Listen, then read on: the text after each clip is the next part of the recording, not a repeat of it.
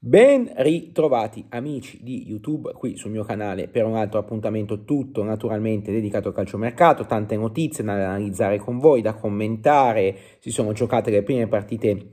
di eh, Serie A con risultati,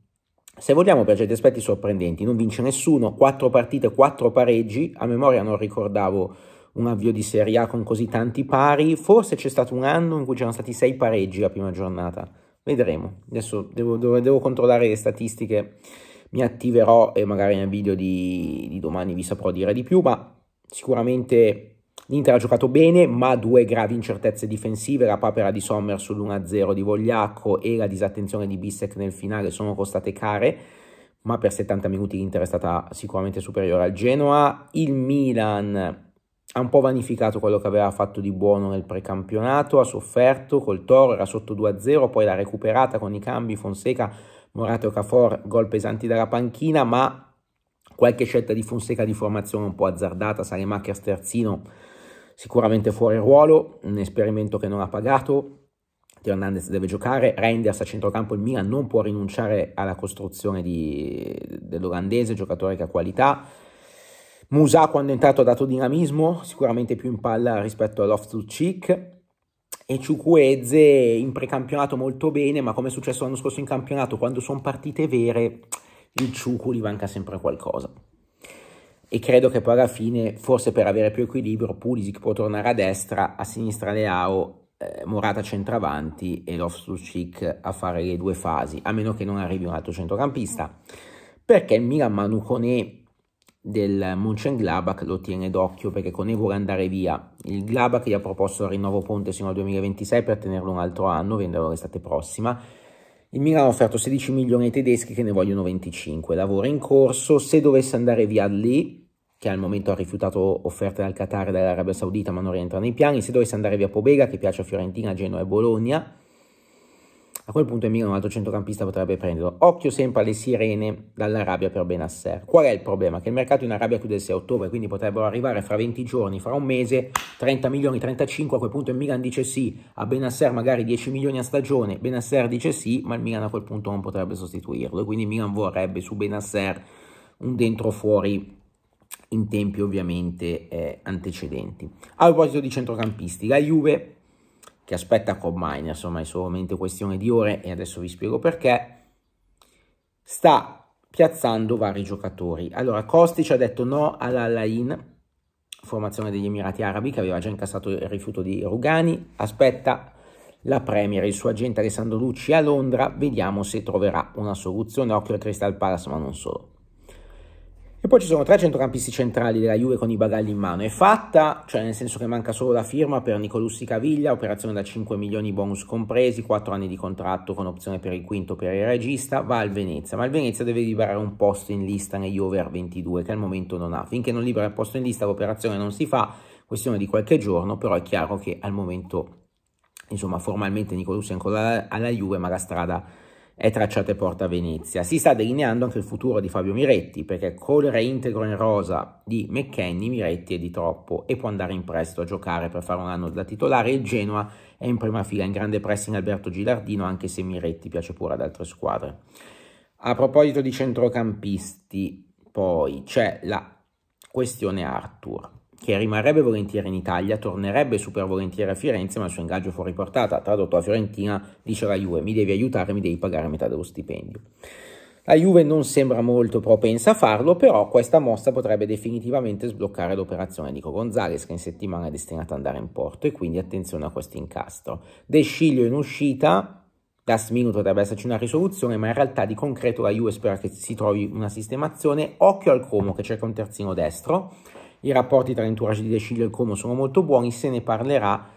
anche con la Juve dopo la sfida ovviamente di campionato in programma domani sera e che chiuderà la prima giornata. Adesso però arrivo al piatto forte che c'è un'Atalanta letteralmente scatenata, fatta per Samarzic, oggi visite mediche firma sul contratto fino al 2029, 22 milioni più 4 di bonus, questa l'operazione con l'Udinese, Samarzic vestirà il nerazzurro, bruciato O'Reilly, perché? Perché l'Atalanta aveva offerto 15 un mese fa, non andavano bene, 18 milioni 20 giorni fa, non andavano bene. 23 milioni settimana scorsa, era arrivata a 25 più 2 di bonus, totale 27 tre giorni fa, il Celtic ha detto sotto i 30 non andiamo, l'Atalanta ha deciso di tirarsi indietro, ha chiuso Summersic a meno, poi mi direte voi nei commenti se è meglio Summersic o O'Reilly, comunque sono coetanei, quindi anzi Summersic è anche un figo più giovane, perché Summersic è 2002 e O'Reilly è 2000, però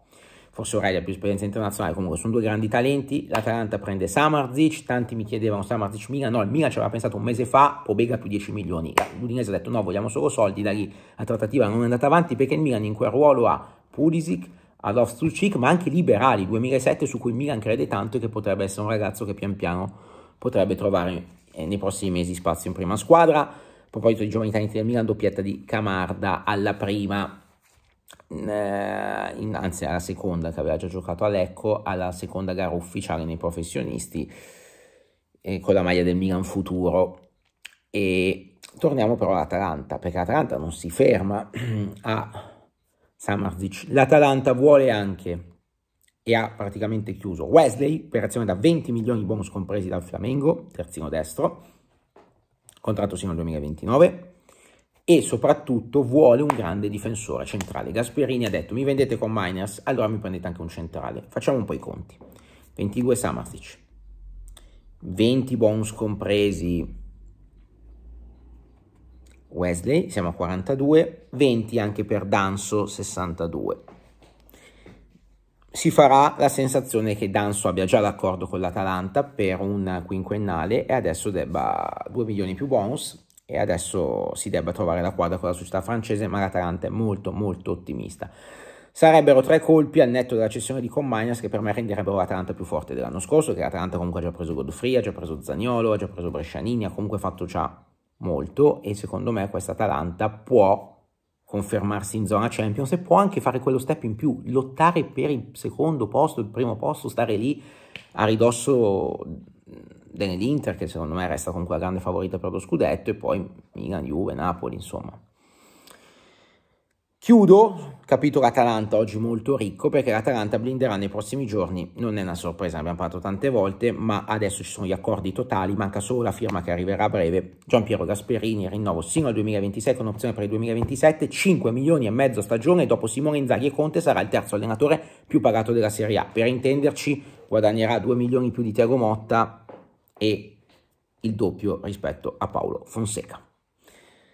Grazie per essere stati in mia compagnia, ci vediamo domani, buona domenica a tutti, buon uh, ultimi scampoli di weekend, l'appuntamento è sempre lo stesso, vi aspetto domani, se, eh, in alto a destra la campanella da attivare per avere tutte le notifiche in temporale e non perdervi neanche una notizia, se vi è piaciuto il video vedete qui il pollicione, ci cliccate sopra, mettete il like e perché no condividetelo su TikTok, su Facebook, su Instagram, su Twitter, eh, fate dei clip tagliate, fate girare i video, insomma quello che vi pare, nelle chat Telegram, Whatsapp, andate e moltiplicatevi, più siamo meglio, più ci divertiamo, stiamo andando verso i 29.000, ci punto questa settimana e poi l'obiettivo, lo sapete, 30.000 entro la fine del mercato, ce la faremo, io ci spero, dipende da voi, iscrivetevi al canale, è gratis, non costa nulla, perdete mezzo secondo, che ve frega, se vi è piaciuto, bene, se non vi è piaciuto buttate un like, eh, però insomma per noi eh, comunque qualcosa di soddisfacente, importante. Detto ciò, vi chiedo nei commenti, voglio sapere la vostra, questo rinnovo di Gasperini, questi colpi Atalanta, se l'Atalanta davvero può votare per lo scudetto, Danso, Samarzic e Wesley, le uscite della Juve, se qualcuno avrebbe meritato magari una conferma o un'altra occasione tra Kostic, Nicolussi Caviglia, Arthur e Miretti, e poi anche un po' come avete visto queste prime gare di Serie A della prima giornata, eh, io mi sono focalizzato sulle partite che ho visto, ho visto Genoa-Inter in tv, ho visto Milan-Torino allo stadio, poi ho visto solamente gli highlights, Empoli-Monza, due squadre secondo me in difficoltà a cui manca entrambe un centravanti prolifico 0-0 mm, senza infamia e senza lode. Ho visto un bel Parma con una Fiorentina ancora un po' un cantiere aperto, un 1-1 però comunque che tutto sommato mi è sembrato dagli highlights abbastanza giusto. Cosa ne pensate? Ditemi la vostra nei commenti, vi aspetto a domani, ciao a tutti.